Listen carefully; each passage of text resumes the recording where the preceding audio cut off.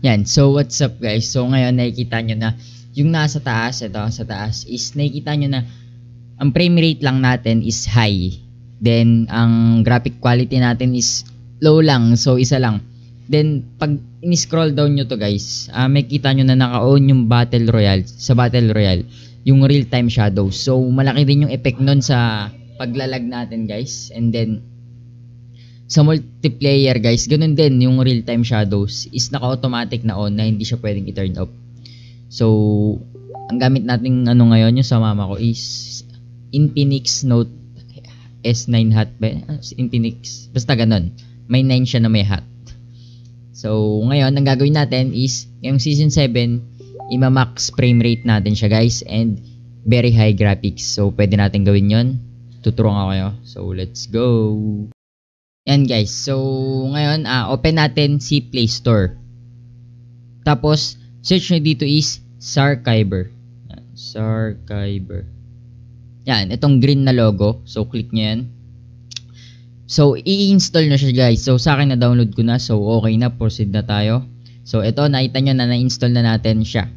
Ngayon, ang gagawin natin is punta kayo dyan sa title, yung title na itong video. Click nyo yun. Meron dyang media fire na link no? Ang pangalan niya is CODM uh, ah, Jade Max Graph Max Frame Rate tapos uh, graphic quality. So nagkukulay blue siya so madali niyo siya makikita. Ang ano niya diyan guys, nagkukulay blue na Media Fire yung unang name. So sa akin na-copy ko na. Sa inyo i-click niyo lang yung blue na yon then automatic na kayo. So sa akin, uh, kailangan ko pa siyang i-paste basically kasi hindi pa naman to na-upload yung video na to. Ginagawa ko pa lang. So ayan. So pag basically pag tinap niyo yung nagkulay blue na sinasabi ko, uh, dito kayo mapupunta. Ayan, makikita niyo yung Jade Max FPS very high graphic. So download nyo lang yan. Huwag kayo mag-alala 7 MB lang. So sobrang liit lang nun. No? Kung sabihin na, ay nako may da-download na naman. Sobrang liit lang yan guys. Pati yung Sarkyber guys, malit lang yun. Kaya matakot. Yan guys. So ngayon na download na natin, 'di ba? Um kinlik nyo yan guys, mapupunta kayo sa Sarkyber or so pag walang lumalabas sa inyo ng ganyan, home kayo dyan guys, click nyo yung Sarkyber. Yan. Allow nyo guys. Yan. So may kita nyo yung file na yun guys pag pumunta kayo sa may scroll down, punta kayo ng download. Yan. So may kita nyo dito, ang daming laman. So ito, nakalagay yung Jade Max FPS Very High Graphics Season 7 Unlock. That's it. Basically, kiklik nyo yan. Tapos, extract here. Yun. So, lumabas dito si Taichi APK at saka si uh, installer, X-installer APK. So, una natin gagawin, i-install natin si Taichi APK. Install. Settings. Allow this source. Tapos, click nyo tong back. Tapos, install guys.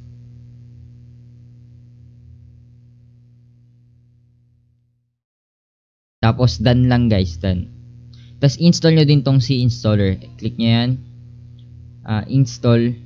So dapat meron sa inyong lumabas na open with. So kung gagawin nyo, Taichi app installer, open nyo siya with Taichi, hindi yung package installer. So open with Taichi app installer. Uh, just once nyo lang. Allow this source, tapos back. Install. Tapos done. Yan. So, pagtapos natin ma-install tong Taichi at saka itong installer APK, uh, ah, kailangan muna nating rename yung data at OBB ni Call of Duty Mobile para pag in-install natin yung mismong APK ni Call of Duty, hindi masama yung mga downloaded nyo na map, character, weapon, weapon camos, yan. So, wala madidelete doon. Ang madidelete lamang APK niya. Punta tayo guys ng Android. Ito, sa taas Android. Tapos, punta kayo ng OBB. Sa OBB guys, uh, hanapin nyo si com.garena.kmcodm. Hold nyo, tapos rename. Click nyo yung M, yung sa dulo. Yan. Pag kinlik nyo yun guys, mapupunta kayo ganyan. Lalagyan nyo siya ng number 1. Tapos OK. Back. Tapos data. Tapos ganun din sa data. Um, hold nyo din yung CODM, rename, tapos lagyan nyo ng 1. Pag nilagyan nyo kasi siya ng 1, kumbaga, hindi na siya mababasa ng Call of Duty so hindi siya masasama sa delete. So ayan, so andito tayo ngayon guys. So home tayo. uh, search natin sa ating cellphone si Tai Chi. Yan. So, sa akin na-search siya kasi oh, take to na to. Yan. Open natin. Cancel nyo lang yan. Tapos, agree. Tape, tapos, I know it. Yan. I know it. So, ayan. Ang gagawin natin, uh, click nyo tong parang box sa baba. Tapos, manage modules. Yan. Okay. Tapos, ayan. Check nyo to. Meron dyang box na ano, blank. So, pag click nyo yan, mag-check. Tapos, back tayo guys. Yan. So, okay na.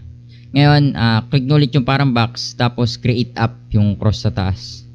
Yung plus sign. Yan. Gagawin nyo dito, hanapin nyo si Call of Duty Mobile. So, natin natin, hanapin natin si, ito, Call of Duty. Yan. Yan. Tapos, create. So, this may take a long while daw. So, hintayin lang natin siya basically. Yan guys. So, ayan, lumabas ngayon is, attention, Taichi has created the app. So, nag-create na siya ng app kasi nga i-uninstall natin yung Call of Duty. Taichi has created the app. So, confirm nyo lang. Tapos, okay, uninstall natin guys. Huwag kayo mag-alala, hindi madidelete yung files nyo. Ang gagawin nyo guys, uh, click nyo tong Call of Duty. Pag kinlik nyo yan, uh, yan, install. Lalabas yung install. So, click nyo lang yan. Yan. So, okay na siya, guys. Yan. So, andito ngayon ngayon, kiklik natin si home. Tapos, search nyo sa inyong cellphone si X-installer. X, ito. Si installer yung kanina din nating in-install. So, malilit lang MB na ito. Huwag kayo magdala. Continue nyo lang yan, guys. Continue. Okay. Punta kayo, guys, ng device properties. Tapos, enable nyo tong checkbox, checkbox ta- sa taas. Changing device properties. Okay nyo yan. Yan. So, sa model guys, uh, click nyo yung model. Uh, lagay nyo dito. Sa, um, andyan sa description yung uh, paggagayahin nyo sa model, manufacturer, tsaka product. So, lagay nyo dito 1 plus A 5,000. Tapos, okay nyo guys sa manufacturer, uh, back nyo lang din yan guys. Lagyan nyo dito, 1 plus. So, yung mga capital guys, kailangan gayang-gaya nyo yan ha, kung ano yung capital. Sa product, nyo ulit. Lagyan nyo, 1 plus space, tapos 5. Tapos, pag nagawa nyo na yung lahat guys, uh, pwede na kayo mag-back. So, pagtas natin doon sa installer, di ba? Back na tayo sa home. Tapos, open natin si Sarkiver. Yan. Tapos, Android, OBB. So, yung kaninang sa Garena, kailangan na natin siya ibalik sa dati. Rename. Tanggalin nyo na yung 1. Okay. Tapos, back. Sa data, ganun din. Kailangan nyo siya i-hold. Rename nyo siya, guys. Tapos, tanggalin nyo yung 1. Tapos, okay. Parang sa ganun, uh, mabasya na siya ng ating Call of Duty. Now, pwede na nating open si Call of Duty Mobile. So, example guys, Facebook kayo. So, ang gagawin nyo pagka Facebook yung account nyo, kailangan nyo muna i-uninstall si Facebook guys. Kasi, um, pag nag-login siya ng Facebook, kailangan yung pop-up yung mangyayari. So, kailangan nyo siya uninstall. Um, mamaya naman, uh, pwede nyo naman siya i-install pagtapos na ma maka-login sa Call of Duty Mobile. Yan. So, open na. Yan guys. So, paalala guys, pagka Facebook yung ginagamit nyo sa Call of Duty, kailangan nyo munang i-delete yung Facebook nyo sa may uh, sa ating cellphone. Download nyo na lang siya pag naka-login na kayo dito kasi kailangan yung nagpa-pop up, yun yung kailangan ma kung kayo mag-login. Bawal sa may Facebook, hindi siya nababasa. Yan. So, delete nyo muna tapos pag naka-login na kayo dito sa Call of Duty, tsaka nyo yan siya ibalik. So sa akin na-delete ko na eh. Sign in with Facebook. So yan. Kaya ako sinasabing kailangan yung i-delete kasi kailangan ganito yung lumabas. Kailangan dito kayo magla-login. Bawal yung, di ba sa pagkaling Play Store yung Call of Duty nyo, ah, pag nag-click nyo yung Facebook doon, di ba, parang magpipris lang ng mga 2 seconds, tas ayan na.